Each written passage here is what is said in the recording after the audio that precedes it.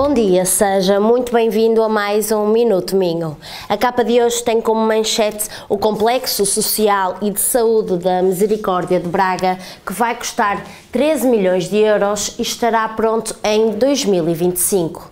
Destaque também para o município da Póvoa de Lenhoso, que este ano vai oferecer um coração de filigrana aos clientes dos restaurantes do Conselho que integram os fins de semana gastronómicos. E por último, destaque para o novo programa da sua DMTV Proximidades, que estreou ontem e que tem como primeiro convidado o presidente da Junta de Freguesia de Gualtar, João Vieira.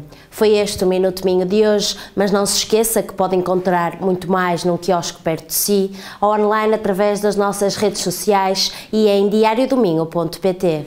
Obrigada por estar desse lado, tenha um ótimo dia.